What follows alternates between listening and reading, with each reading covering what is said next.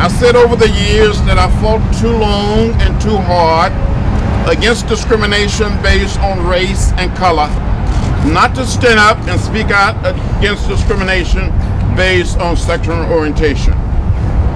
Apparently, the governor of this state has not read his recent history books. Maybe have not watched a segment of, of Eyes on the Prize.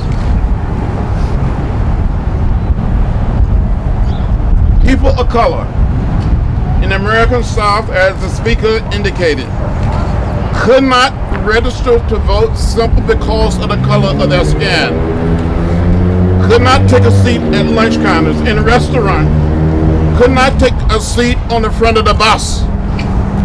Could not visit state capitals.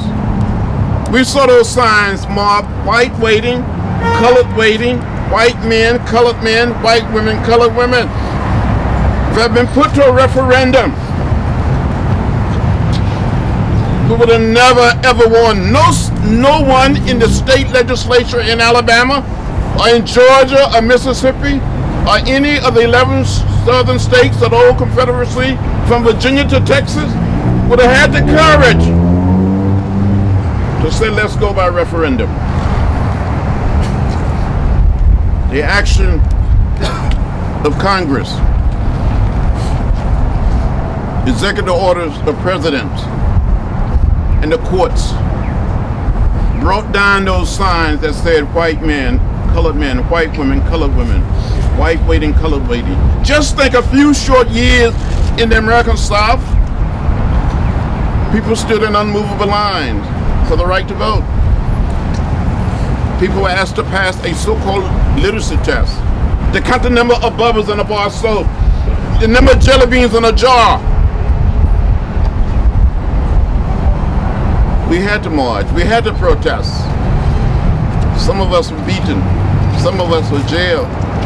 I gave a little blood on that bridge in Selma. So here, we have to stand up. The question of civil rights, the question of human rights, the question of human dignity.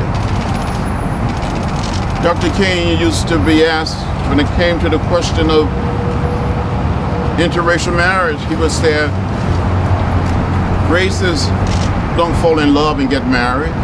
Individuals fall in love and get married. If two men want to fall in love and get married, two women, it's their business. It's not the role of the federal government or the state government to intervene. It's a question of human dignity, a question of human rights. I think the day will come in New Jersey and all across our country when we will look back on this period and say we were just silly. We were just foolish. Let's do what is right, what is fair, and what is just.